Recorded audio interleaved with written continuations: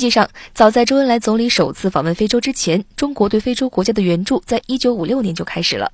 而随着中国经济快速发展，中非之间的合作经济色彩也越发浓厚。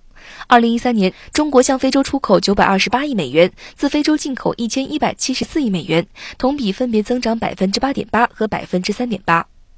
The recent engagement, where we've gone from zero trade to nearly $200 billion, and that's proof of the strength of the engagement. I think Africa is very much tied to China's fortunes. I mean, I think China is a huge part of the demand structure for, for Africa's commodities. 肯尼亚内罗毕大学的学者则认为，非洲通过各种渠道获得了先进技术和新资源，可以说，在非洲的每个人都是中国改革发展的受益者。We have a superhighway. We have been engaging with the West for 50 years. We never saw a superhighway. Now we have one. So I believe that economic effect is going to affect uh, Kenya and other countries for much longer. 而在非洲，中国援助的不少项目也成为当地标志性建筑。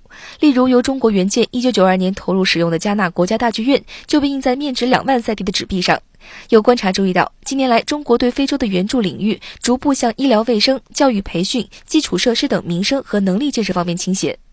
新华介绍称，中国在对外经济技术援助八项原则中就提及，中国对非洲的援助不要使非洲产生或增加依赖性，相反的，要提高和增加非洲自己独立发展的能力。呃，所所有的呃这样一些八项原则，都使人感觉到中国对非洲的援助，或者说中国和非洲的合作是新型的，是国际关系当中具有新的精神的。这样一种援助，直到现在也区别于呃非洲和其他国家的援助。